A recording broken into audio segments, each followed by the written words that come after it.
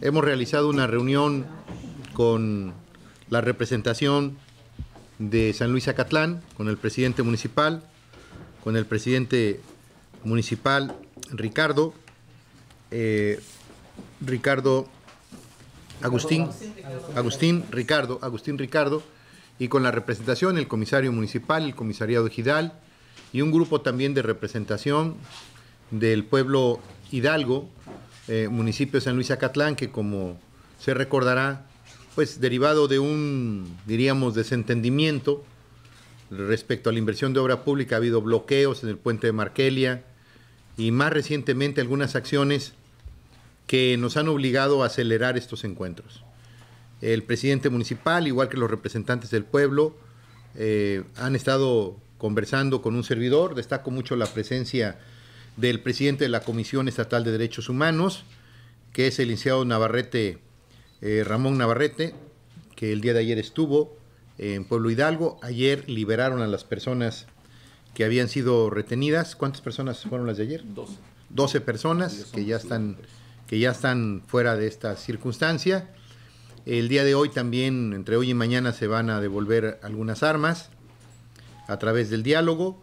Y eh, pues yo quisiera eh, pedirle a, tanto al presidente municipal como al representante, en este caso del pueblo Hidalgo, que ellos han designado, que hagan algún comentario eh, a efecto de informar. Lo que les quiero decir a ustedes es que este asunto está llegando a su terminación a través de una serie de acuerdos que acabamos de tomar acuerdos que estaban muy avanzados y también con la ayuda, por supuesto, de, del gobierno del Estado en lo que nos ha sido posible, a través del diálogo, a través del entendimiento y el llamado que les he hecho a la paz, que a nadie le conviene estar en confrontación siendo del propio municipio y creo que todos están poniendo su parte. Quiero expresarles mi reconocimiento a ellos, tanto a la autoridad municipal, al presidente municipal Agustín Ricardo, a quien también está con nosotros, que es la síndica, y por supuesto también están los regidores de los diversos partidos políticos que integran la comuna. La verdad es de que yo les convoco a ustedes, tanto a las autoridades eh, municipales, al presidente, a Ricardo, a Agustín Ricardo, a la síndica, a los regidores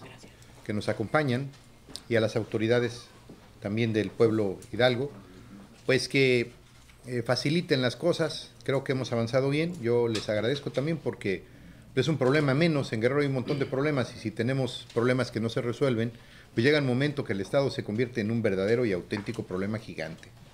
Y yo creo que el Estado tiene nobleza con su gente. Ustedes, eh, yo creo que están claros de que no nos conviene a nadie estar distanciados ni confrontamos, confrontados, como lo comenté en un principio, especialmente cuando son del mismo municipio. Entonces yo los convoco a que informen ustedes en el pueblo de que ha habido un importante avance, y que el presidente municipal ha tenido disposición, que ustedes también, y que nosotros también, y que agradecemos mucho al, presidente de la Comisión Estatal de Derechos Humanos. Vamos a firmar un documento, yo no lo voy a firmar, yo no acostumbro a firmar documentos, pero yo creo que sí valdría la pena que se firmara y, en este caso eh, yo puedo hacerlo como testigo, ¿de acuerdo? En esta solamente ocasión como testigo. Entonces, para que firmemos como testigo tanto el presidente de la comisión como un servidor, hay que hacer un documento muy concreto, con líneas muy concretas, para que quede muy preciso todos los compromisos. Y lo que se comprometió el presidente, que se cumpla, lo que se comprometió el gobernador, que se cumpla, pero también lo que se comprometieron ustedes, también cumplan. ¿De acuerdo? Fundamentalmente esa aportación del, del municipio, eh, de acuerdo a lo que habían ellos avanzado, y una aportación que también vamos a hacer como gobierno del Estado en un porcentaje, diríamos, muy pequeño. Así es como es el arreglo. Pero fundamentalmente, aparte del dinero, yo creo que lo que está arreglando es que se pare la confrontación. Eso es lo más importante. Y es dinero para obras del ramo 33, ¿no? Entonces, nosotros creemos que es un buen momento para terminar con todo, incluido el regreso de las armas, incluido, por supuesto, un procedimiento de acercamiento, de acercamiento a efecto de, darse la mano para que todo este conflicto termine definitivamente. ¿Se le va a dar dinero en efectivo, gobernador? No, dinero en efectivo no se le va a dar. No, ya se acordó. Es en base a lo que dice la ley y en base a lo que dice el ordenamiento. Ellos van a proponer sus obras y en base al acuerdo con el presidente esas obras se van a hacer. ¿Cuándo se regresan las armas? ¿Cuándo se empiezan a regresar las Entiendo que hoy mismo, ¿verdad? Hoy mismo en la tarde, o, entre la hoy y la noche y mañana que regresen ellos a su pueblo. Ya se acordó que el presidente les va a poner una persona y un vehículo para que ahí entreguen las armas y que se firme un documento de recibo de las armas. También se incluyen los vehículos, gobernador, las patrullas. Todo lo que se llevaron lo van a regresar. Todo.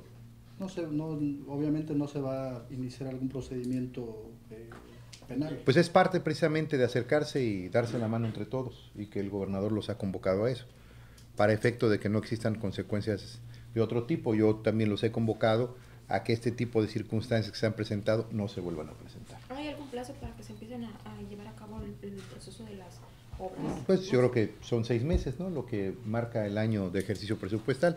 Ya estamos a seis meses de concluir el año. Yo creo que seis meses son muy buenos.